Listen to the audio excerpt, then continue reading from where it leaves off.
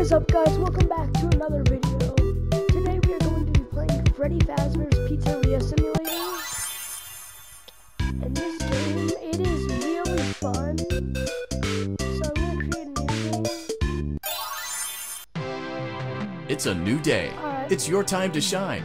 It's time to take your career into your own hands. You've saved money your whole life. Great. Now it's time to put all your eggs into one basket and take a huge gamble on your future. A gamble that comes with a 100% chance of success in some cases. What Yeah, I've already seen that. I know, I know, I know. I've already played this game, but with cheats on. Day one, zero. Let's see how much cash you had left over after purchasing your franchise package. Great, that should be more than enough. Now let's get started.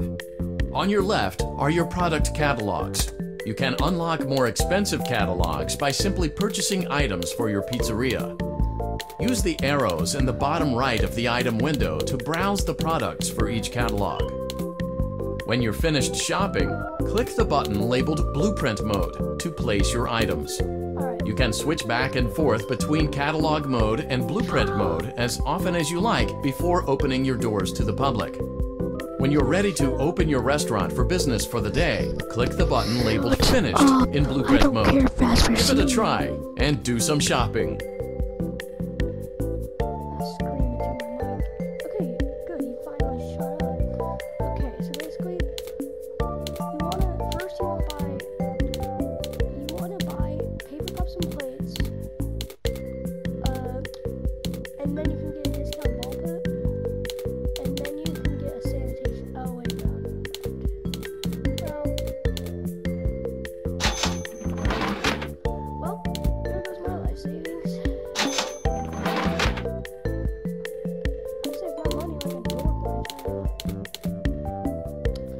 Discount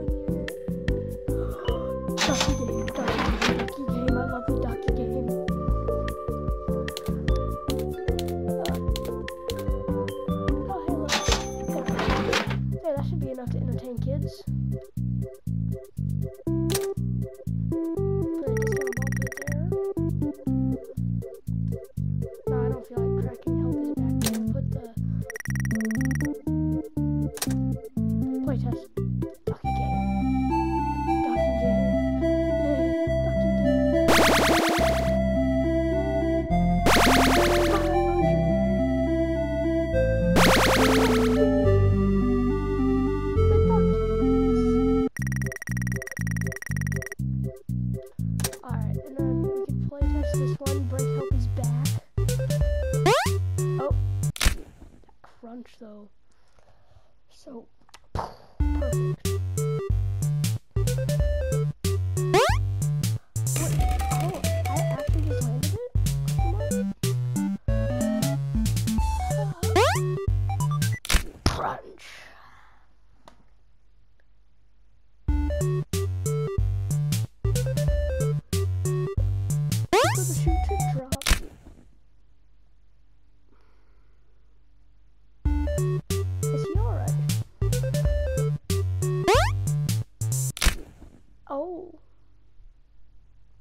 but hey, he's like Springtrap.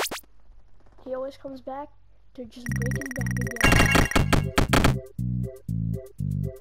Step on a crack, break help his back. Alright.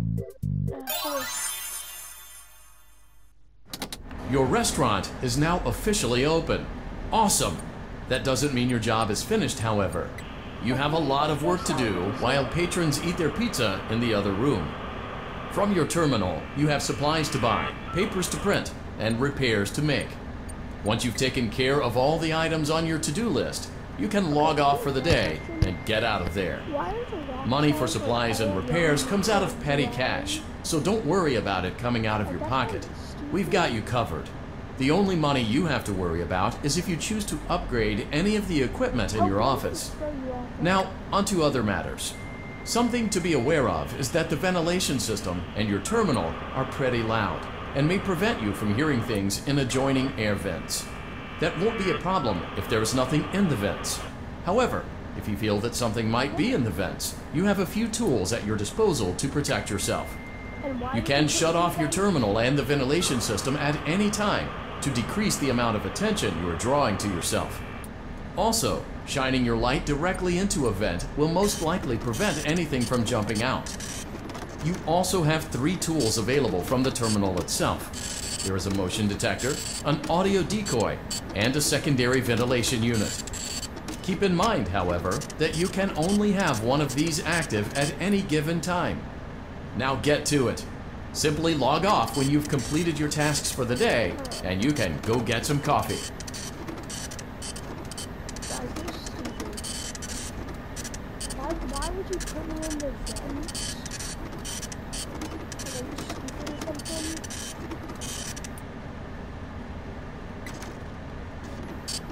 Unless it's, it's like my restaurant now, but don't I get to decide where I go? Honestly, they should make like an app actual simulator and you can buy like any animatronic and any of the games or books. That would be, I, I would think, like, as long as they have the ducky. Uh, I just realized, why, both my PlayStations are very dusty. At least not the electric outlets. Those things do not get, things never been cleaned and never will get cleaned. I live in a hazard. Hey, look at how, look at Lefty up there. Just, Lefty, why are you here and why do you have one black eye? I don't think that we should be showing children electronic who doesn't have an eye. Great job! It looks like you're getting the hang of this. Now let's just focus on getting you through your first week. No. There's a big party here Saturday, Sure. and you should view that day as your ultimate test. Make it through Saturday, and you will have proven yourself as the successful entrepreneur that we all know you can be. But I'm not though. Congratulations on completing your first day. However, your job isn't over just yet. There is another aspect to your end of day routine, and that is inspecting and salvaging any animatronics found in the alley outside the back door. Things are found here quite often, and while we aren't sure why, what we do know is that they can be used for parts, which can mean a much needed revenue boost before starting your next day. Of course, as with everything else in this line of work, those benefits come with risk. The safest thing to do is to throw it back outside, but then you get no money for the salvage. Choose to keep it, and you run the risk of certain negative consequences, namely death, should the item in question not be as docile as it first appeared. If you do decide to try to salvage it, then you must complete the maintenance checklist. During this testing phase, check on the animatronic frequently. If you feel that it is becoming unstable, use the taser provided to you. You can use it three times without damaging the hardware. Every use over three, however, will decrease the item's salvage value. Before you is an animatronic found in the back alley. We are unsure of its origins. It is your job to complete the maintenance checklist before claiming it as salvage. Or, if you choose to, you can throw it back into the alley where you found it and forfeit payment. Please make your choice now. Uh, I guess I'll. Ooh, actually, not. I'm only gonna do if it's like over 700. Bye. Don't forget Saturday. You want them all to be in one place.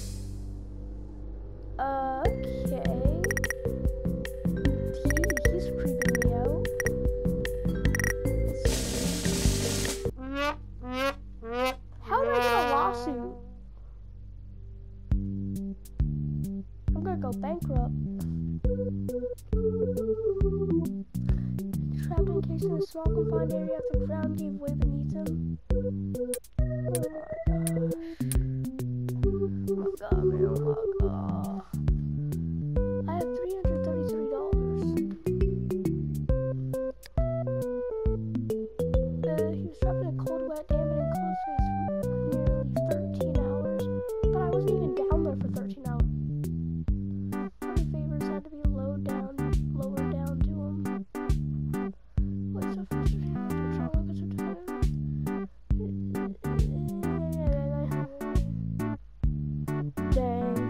sucks for him. Uh, well, I don't have, I don't, I can't settle, I can't fight the lawsuit or settle, so.